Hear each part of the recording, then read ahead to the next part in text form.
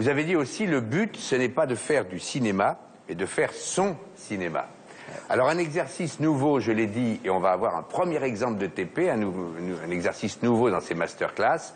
On a voulu ajouter une dimension plus pédagogique et rendre encore plus concrets les précieux conseils que vous pouvez tous deux euh, et d'autres après vous donner aux jeunes gens. On vous a donc demandé à chacun, Albert et Bertin, d'imaginer un travail, un TP à faire réaliser par quelques passionnés euh, du cinéma et de l'image. Euh, votre choix, on peut dire, Albert, est une sorte d'hommage à Bertin Naoum, puisque vous avez demandé, je vous laisse lire votre brief. Euh, tourner une scène dans d'une minute environ, utilisant le procédé image par image, où on verrait un robot procéder à une opération chirurgicale, sachant que ce robot peut être pâte à modeler façon voilà ce gros bit, en Lego ou tout autre matériel de votre choix. Il faut Voilà. être en gros plan avec un accompagnement, accompagnement sonore. Voilà. Voilà, vous avez compris, même Stéphane, vous avez bien compris le brief. voilà.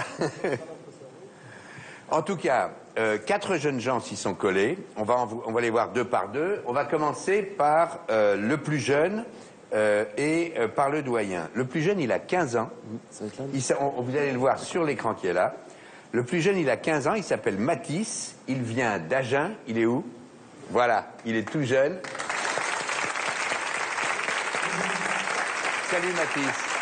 On va regarder votre film et puis Albert va ensuite en parler avec vous, d'accord? Voici le film de Mathis sur le brief d'Albert. Bonjour, monsieur. C'est pour votre opération de l'appendicite? Oui, tout à fait, c'est moi. Venez, nous vous avons préparé un dispositif hors du commun. Suivez-moi. Voici les robots chirurgiens à la pointe de la technologie. Euh, je, je- je- Ne vous inquiétez pas, vous êtes entre de bonnes mains. Allez, installez-vous. Bon, je vous laisse avec les robots. À plus tard.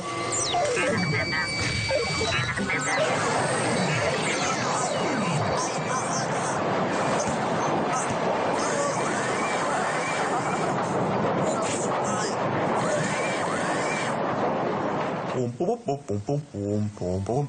oh mon dieu C'est malin, faut tout recoller maintenant. Tout ça pour une opération de l'appendicite. On va y passer au moins 9 mois. Neuf mois ferme. Oh, oh, oh, Ce n'est pas oh, drôle du tout. oh. Bravo.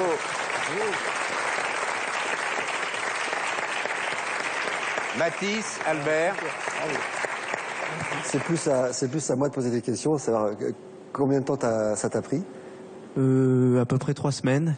Donc j'ai fait ça pendant les vacances. Euh, la partie la plus longue, c'est surtout le tournage.